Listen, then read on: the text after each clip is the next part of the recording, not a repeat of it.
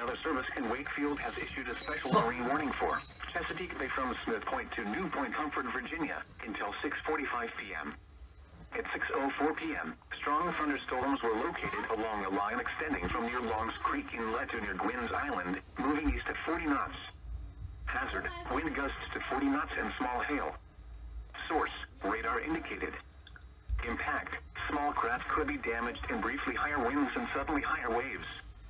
Strong thunderstorms will be near Hole in the Wall, San Marcos Wreck and Wolf Trap around 6.15 p.m.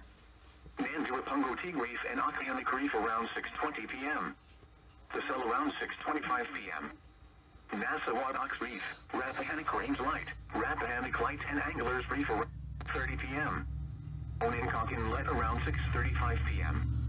Move to safe harbor immediately as gusty winds and high waves are expected. The National Weather Service in Wakefield has issued a special marine warning for Chesapeake.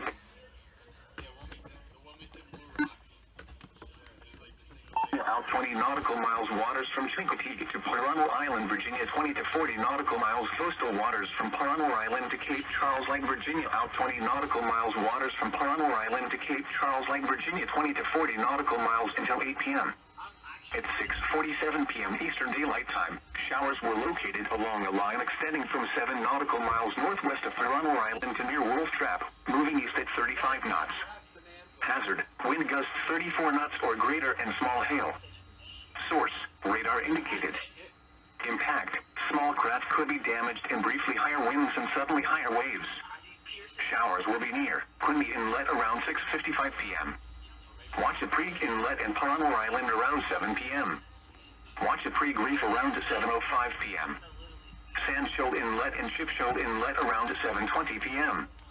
Great Machipongo Inlet around 7.25 p.m.